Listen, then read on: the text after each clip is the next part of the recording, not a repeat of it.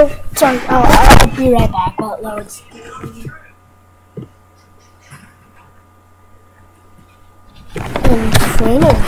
Wait, my name's Fruiter. Duh. I mentioned the FPS on the TLH website. So let's go. I'm gonna show you how, like, what I'm doing. This is the first test level. I put down a bunch of ammo for the minigun. But we use it all. Barely use any. Now, I put this door there to trick anybody tries to go through it. So I wouldn't recommend going through. Oh, yeah! Forgot about you. No, sir, I'm not. Let's keep going. So we got 1500.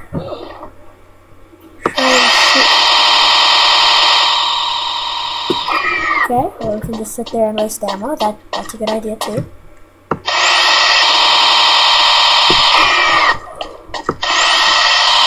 Obviously, it doesn't reach that far.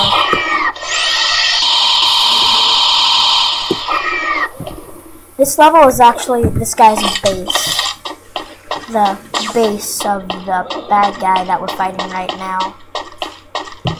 It's actually the their leader's base.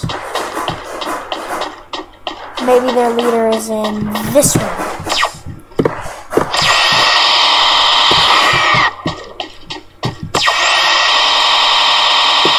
No, just a squad of them.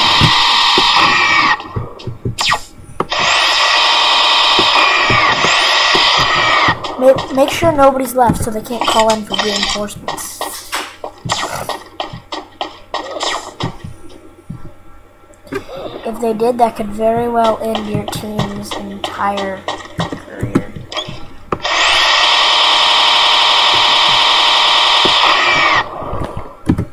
Reload after every fight, that's my strategy. Those doors down there are doors. If only there were a way there. If only, if only, if only. Hmm. Wait, there is a teleporter.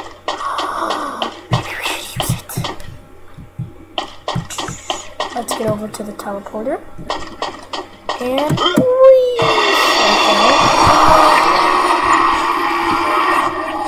It's their leader, he decided not to show up because he knew we were coming.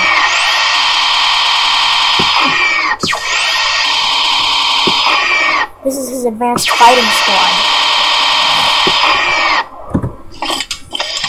It seems we've cleared the base. Let's see what's outside. Whoa, steams the hovercraft's above the desert.